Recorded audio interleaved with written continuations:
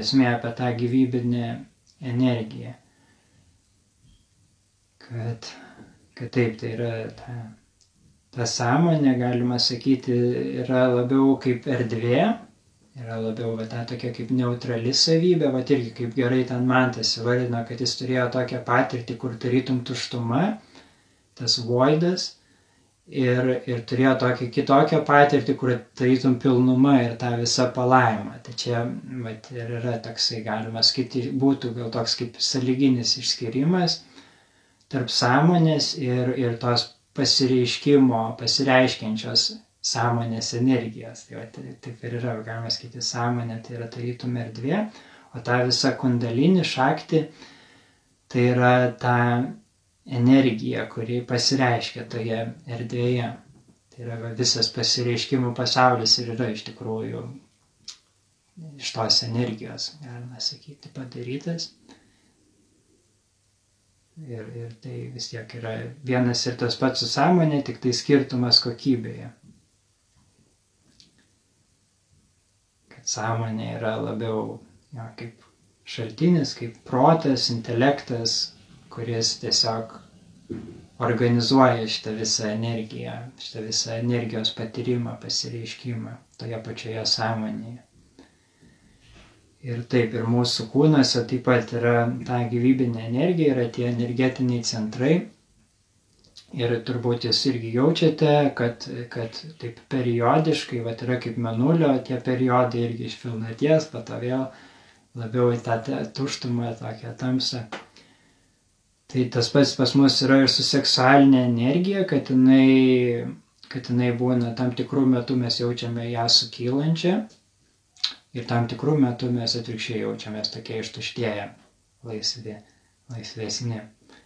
Tai kas liečia, va, tai susiję su meditacija, tai kad mes galime tą irgi tą sukylančią seksualinę energiją panaudoti tiesiog irgi ją keliant, tarytum, bet per aukštesnius savo energetinius centrus ir tiesiog irgi, tarytum, kreipiant ją į tą pačią erdvę, naudojant tą energiją, kad jinai mums padėtų tiesiog susifokusuoti ir susivienyti su tą sąmonę, su tą esmė, su, tą, su tuo šaltiniu. Tai mes galime panaudoti tą, tą tarytum trauką, tą, tą tokią aistrą sukylančią tiesiog pačiam Dievui, nes susivienijimui su Dievu, su savo dieviška natūra. Tai to mes iš tikrųjų siekiame ir santykiuose, ir viskame kame, ir maiste. Mes siekiame tos jogos, tos vienybės, tik tais at, per įvairias tokias iliuzinės formas, bet mes galime iš tikrųjų tą energiją naudoti tam tiesioginiai, tai tiesioginiai sąjungai su tuo, kas yra amžina. Ir, ir mes iš tikrųjų galime jausti, kad tas šaltinis irgi turi savo traukos lauką, savo magnetinį lauką. Tik dauguma žmonių jo nejaučia, nes jie yra labai inertiški iliuzijos traukoms. Galima sakyti, kad yra tokias dvi traukos. Viena yra ta, kur iliuzija, į tą visą įvairovę, į tą visą sapną įtraukia ir kita, kurie atvirkščiai traukia pabusti, traukia suvokti save kaip tą šaltinį, kaip tą, kas tu iš tikrųjų esi. Tai mes šitame kurse irgi mokinsime šiek tiek atsiplėšti nuo tos iliuzijos ir, ir šiek tiek nusimesti svorio to kažkokio krūvio iš tos iliuzijos ir tada pajausti tą trauką, kuri mus traukia jau į tą pabudimą, į tą tikresnę mūsų natūrą. Tai tam mes ir naudojame, tam ir galim panaudoti šitą gyvybinę seksualinę energiją, tiesiog kaip tą kūrą, kaip tą energiją, kuri mums padeda susifokusuoti, susivienyti ir siekti šito tikslo. Taip, ir kartais būna, šiai geriausiai ta energija vis tiek atslunga ir tada mes galime labiau jausti tą tokią irgi pasivesnę meditaciją. Galima sakyti irgi, meditacija gali būti tokio pobūdžio, kada mes labiau realizuojame savo valią ir tą tokį smelkimąsi vis giliau ir giliau, vis susigražinti ir susigražinti savo dėmesį vis gilyn ir gilyn. taip labiau kaip kario kelias yra ir tada kitas kelias yra atvirkščiai ilsėjimasis, tiesiog ilsėjimasis savo natūralioje būsenoje, toje tuštumoje, toje ramybėje.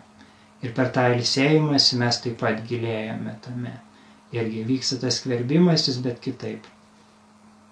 Tai va tokie pagrindiniai orientyrai. Va, Ugnė dar parašė, ar galėsite dar papasakoti apie jungti su šaltiniu per meditaciją. Ai, per meditaciją. Ai, supratau.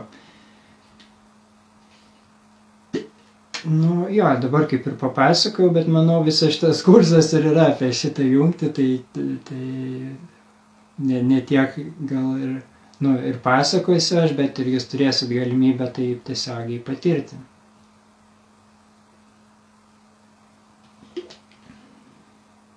Nes nu, jungtis su šaltiniu, tai iš tikrųjų, bet kaip ir sakiau, yra tas skirties, iš, nu, tos iliuzijos ištirpinimas. Nes re, realiai skirties nėra. Yra tik tai skirties iliuzija, kuri leidžia mums patirti jungties iliuziją. ir tai yra puiku, jo, tai yra naudinga, be, be to atspindžio mes ir nepatirtume to absoliuto, be to skirties iliuzijos mes ir negalėtume suvokti savęs. Bet taip mes tam tikrų metų ateiname iki tokio taško, kur mes vat, pasinaudojame tą skirties iliuziją, pasinaudojam tuo atspindžiu, kad suvoktume, jog aš esu už atspindžio, aš esu už skirties ir tuo metu man nebereikia šitos skirties iliuzijos. Aš suprantu, jog aš galiu egzistuoti be jos. Tai čia ir būtų ta tikra jungtis be jungties, tiesiog vienybė.